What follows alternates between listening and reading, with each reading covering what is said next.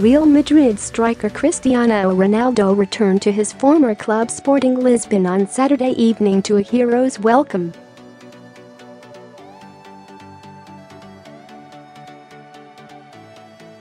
The former Manchester United forward sat out the final weekend of his five-match ban for pushing a referee by catching up with old friends and familiar faces at the 50,000-capacity Estadio José Alvalade.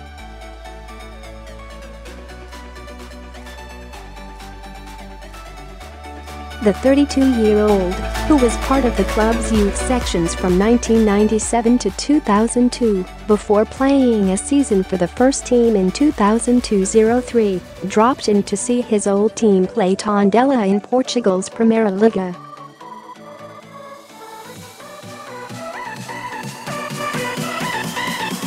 Ronaldo, accompanied by girlfriend Georgina Rodriguez, who worked at a Gucci store in Madrid before they met, catching the eye of the star in the VIP area of a Dolce.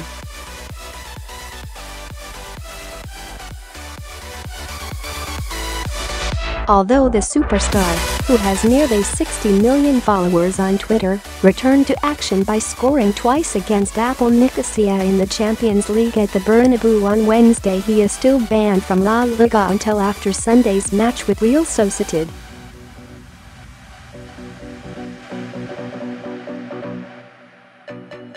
Ronaldo also missed the returned leg against Barcelona in the Supercopa as well as Real's first three league games of the season against Deportivo La Coruña, Valencia, and Levante.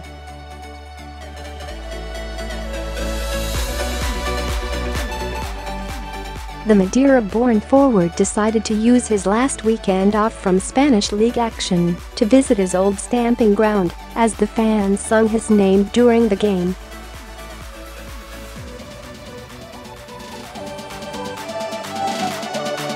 Despite departing for Manchester United as a teenager after impressing against Sir Alex Ferguson's team in a pre-season match, Ronaldo is still revered at the Alvalade